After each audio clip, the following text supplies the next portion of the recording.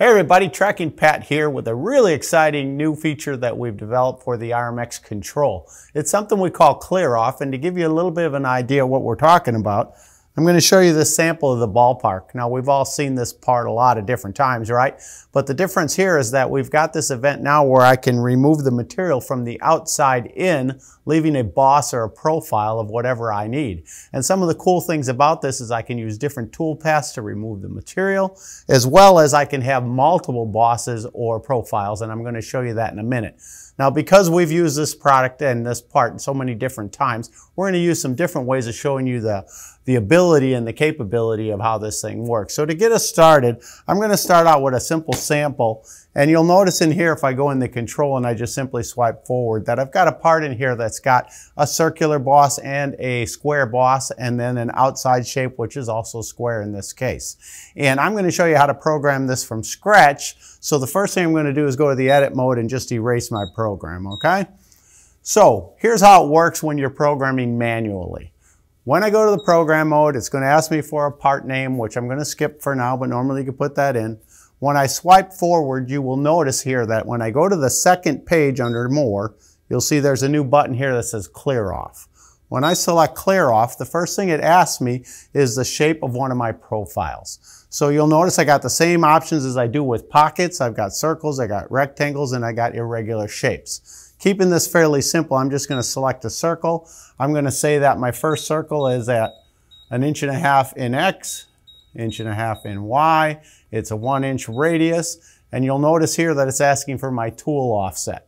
You'll also notice in this green box that it's saying whatever I select for my tool offset on this first profile, is going to be applied to every profile thereafter. I'm just going to hit the set key and accept that. And now it's asking me, what do you want to have for another profile? I'm going to select rectangle. I'm going to tell it that this corner of the first is 3 and 3, and the other side is 5 and 5. And I've got a 1 8 radius on the corners. And you'll see right there that there's my rectangular profile. I could continue to keep adding profiles, but in this case, I'm going to push the End Profiles button. And now it's asking me to select or define the stock. So here's a really cool thing. The stock can be circular, it can be rectangular, it can be square, or it can be odd shaped, which is something that we didn't used to be able to do in the past. So I think it's important to point that out. But what I'm going to do is just a rectangular stock. My lower left-hand corner right here is 0, 0, right? So I'm going to put 0, 0 there. This is a 6 by 6 inch block, and my Z-Rapid is already in my defaults. I'm going to cut this a half an inch deep. I don't need a Conrad because there is nothing on the outside of the part. My direction is at set it counterclockwise. I'm going to leave that there. I'm going to do this in just one pass, use a 10 thousandths finish cut, and then I'm going to put in my feeds and speeds. Okay, I'm going to tell it to come in at 30 inches a minute, machine at 60, finish at 40, and now I've got my tool information. Before I go any farther, I want to explain a couple things. If I open my options page here, you're going to notice that I have my toolpath set to parallel. I can change this for any different thing. And so you see how this all works. I'm going to use the different toolpaths for each one of these samples. But I just wanted you to see right now where it's set. Another thing I want to point out is my entry method doesn't really matter because it's only going to bring the tool down where there is no material. So it's going to default to plunge anyway. I'm going to close that right there and I'm going to just use tool number one for both the rough and the finished part of this. And so there's my completed part. Now you notice it looks a little bit different because this time I've got solid blue lines showing my profiles and dotted blue lines showing the actual material and where it's going to start to remove. So when I go to the tool table in here, I'm just going to look for a tool that I can use to remove the material. I'm going to call that tool number one. Close the tool table. Go to the setup mode and select toolpath. Once it calculates the toolpath, you're going to see that using the parallel design, it's going to remove all of the material until everything is gone. Okay. Now to give you a little bit clearer uh, identification of this, I'm going to go to verify part. I'm going to define my stock. Remember that corner is 0, 0. The part's actually an inch thick. The other side is 6 and 6. And the top of the part is Z0, right? So hit return, go to make part. And I'm just going to go this way so you can see it a little better and then hit verify part. Happens pretty quickly, but as you can tell, it starts from the outside, removes all the material, and leaves your profile standing. So super in the way that it works manually, okay?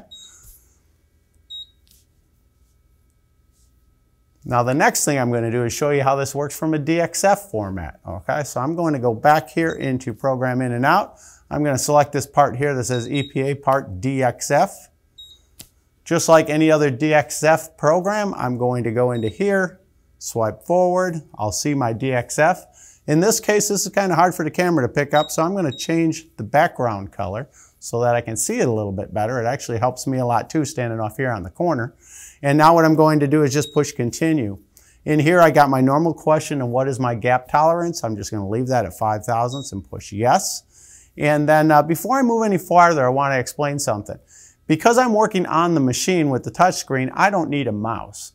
But if I was doing this in my offline programming or something where I don't have a touchscreen, I can use a mouse. In this particular case, I'm going to use the mouse for some of this also because it'll help keep my fingers out of the way. All right, so you'll see here if I move my mouse around that I do have it working here, right? Okay, so what I'm going to do here with this DXF is I'm just going to push continue and I'm going to use this lower left-hand corner for zero. So I'm going to select B, just touch that corner, whoops, missed right there, okay. Hit continue. And I don't need to add any lines or hide any parts of this thing. But what I've actually got here, if I, uh, if I go in here and I hide this, you'll notice that this part here is going to be standing as well as those three profiles. So it can do closed profiles as well as open profiles. And what I want to do before I move any farther is I want to click on this button that says Inquire Geometry, and I need to know a couple things. I need to know the size of that inside radius so that I know what size tool I can fit in there, right? The other thing I need to know is the overall size of the block because this is a DXF and you'll notice if I look in here, this block is also six by six. Okay, so now that I've got that and I know that, I'm going to hit continue. And in here in the DXF, I have the same DXF features as well as clear off. So I select clear off, says do I want to chain? Yes, I do. And I'm going to start out with this piece right here. Now it's a little bit easier to stay out of the way if I use the mouse to grab that part and you'll see that it chains it all together. And then up here at the top, you'll also see that it says done chaining. So I'm going to go up there and hit done chaining. And now it says, what other profiles do you want to do? Now, if you remember when I was doing it manually, I had a select tool left. Well, what I did here is by going through this in that direction, I've already selected tool left. So now I'm just going to take my other profiles and do them in a tool left pattern as well. So that one, like so and so, and last but not least, the circle. And the last thing I'm going to do is up here, I'm going to push the button that says End Profiles. So I go to End Profiles, it says select the geometry of the outside. Do I want a chain? Yes, I do. I'm just going to start up here with this piece, go this direction. You'll see that it connected these three pieces together but left this standing because I'm not going to machine over there. All right, so now that I've got that correct, I'm going to go up here to Event. And just like before, I'm going to come down here, start filling in my information. So minus 0.5, one pass, 10 thousandths finish cut. Put in my RPMs, my feed rates. Now before I go any farther, I told you I was going to show you some different tool paths. So what I'm going to do next is I'm going to go over here to my options page and I'm going to change this parallel tool path to an offset tool path and close that window. The other thing I'm going to do is I'm going to use two tools. So I can do that just like I do in a pocket. So I'm going to use tool number one here, tool number two there. And with the rest passes, I'm going to leave that set to two. So I've got my programming part done here. I've got to go to my tool table and I'm going to look for a tool to do this work. So I'm going to use that 5 ace tool for tool number one. And I'm going to use this quarter inch tool to make sure it fits in that small radius and use that at tool number two. Okay, whoops, did I miss there? It looks like I missed. Sometimes standing off to the side gets you a little bit there, right? Okay, so I've got my tools correct in here. I close the tool, tool table. I go to setup mode. I go to tool path, let it calculate.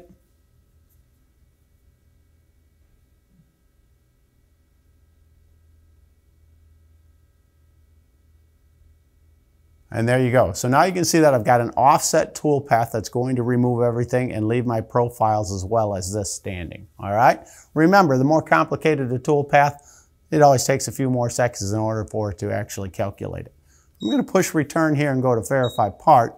And this time when I go to define stock, I'm going to put in that same information, right? My lower corner is 0, 0. My part is an inch thick. My other corner is 6 and 6. And then the top of the part is 0. So when I push return and go to make part, I'm going to once again make this big enough so you can see it well. Then go to verify part.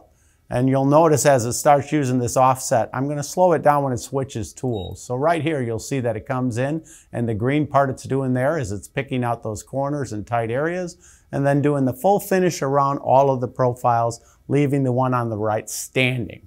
So this is how it works with DXF. And the next thing I'm going to do is show you a little bit more about how to do it with a parasolid model.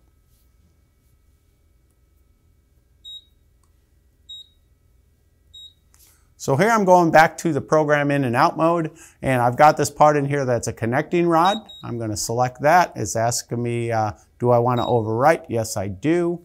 I'm going to go back to program mode again, and I'm going to flip over here. So this is my parasolid model, right? It works just like any other model when I'm doing such. And what it wants to know is where is the surface that's pointing up. So I'm going to select the top surface, say A, and then the next thing it's asking if I need to rotate the part, anything like that. I do not need to do that, so I'm going to push continue.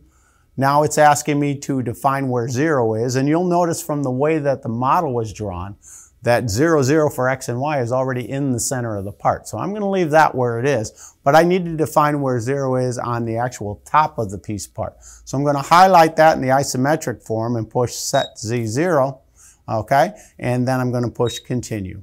So here's my model, but it's in the 2D form right now. Okay. The next thing that I got to do here is inquire geometry again. And the reason I want to do that is I need to know what size this actual material is from the model they drew, and I don't know that. So if I just click on the top line here, you'll see that it tells me here that it's approximately 3.6 and 2.1. And if I go to the other side, it's exactly the same because my zero is in the middle. So that tells me what I need to know here. I'm going to push continue. I'm going to go to clear off. And in here it says, do you want to chain? Yes, I do. So I'm going to select that, start up here, go this direction. It chains everything together. This is, in this case, my only profile. So I'm going to go to end profiles. And now for my outside, I do want to chain. I'm just going to go up here and click on the outside. There I got that part. I'm going to go to event.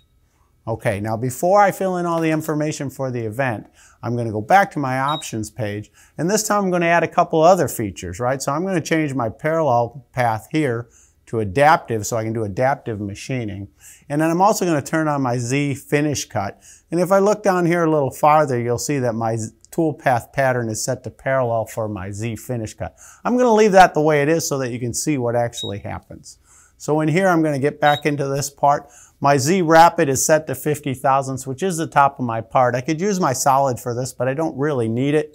But on here I do. So I'm going to go to View Solid. I'm going to click on the floor here and say with no offset and let it fill in the depth, which happens to be a half an inch. All right. Number of passes, I'm going to use one. Finish cut still set to 10. I've got a 5 thousandths Z finish cut that I'm going to use. I've got uh, RPMs again, the same as I had before my entry feed rate, my machining feed rate, my finish feed rate. And I'm going to do all of this with tool number one because there's no place for a tool to get pinched in this case. So I've got that part done, okay? Next thing that I'm going to do is just hit the event key to get back out of here. I'm going to go over here to the tool table and I'm going to fill in some information on the tools, okay? So what I'm going to do next is I'm going to say, okay, I want to use this half inch tool as tool number one and then push tool table again, go to setup mode, and in here I'm going to select the tool path. So with an adaptive tool path, it does take a few seconds longer because it's much more involved, but the time that it saves machining is well worth those few seconds that you have to invest. All right, so what I see now is I see the blue lines showing me how I'm going to adaptively machine and remove all of that material. And then after I change tools, the green lines are showing me the parallel pattern to do the floor. What this is going to do is allow me to remove the material very quickly and then come back and get a nice floor finish on the bottom of it so the part cosmetically looks great. Okay, so I'm going to push return, going to go back to verify, and if you remember when I defined the stock, Whenever I'm defining stock, it's taking the information from the geometry and trying to figure out for itself how big your stock is. We know that it's actually minus 3.6 and minus 2.1, and it's a one inch part, and then 3.6 2.1 for the other side, top of the part being zero, push return. So go to make part here, and I'm gonna blow it up like I have before so you can see it well. And now you'll notice when I go in here and I hit verify part that it starts from the outside using an adaptive pattern and comes in and removes the material. Okay, now I haven't changed any of the other defaults, so keep in mind that it's machining in a zigzag pattern because that's the way the default is set. I do have the ability to program where I only cut in one direction. So that's one of the benefits on the way our toolpaths work. I should also point out the fact that our toolpaths in our control rival most CAM systems without ever even needing a computer. So that's a big deal for you guys. There's a couple other things that you need to know about the way that this thing works. So let me just turn this a little bit so you can see it. This is a one-time investment, this option, okay? It is something we charge for, but it doesn't come with any maintenance fees. You buy it once, you have it forever, okay? Keep in mind that when you want to know a little bit more about this, the best thing to do is reach out to your TRAK representative because he's the one who can help show it to you a little bit better, maybe program some of your parts. Also, he'll help you get set up so that you can get the right uh, codes and everything to get it turned on in your machine. You're going to have to update your software and some things like that too. But when you're done, you're going to have this capability. It's very powerful. I know you're going to really like it. So until then, I'll see you in the next video. But as always, thanks for watching and keep on TRAKing.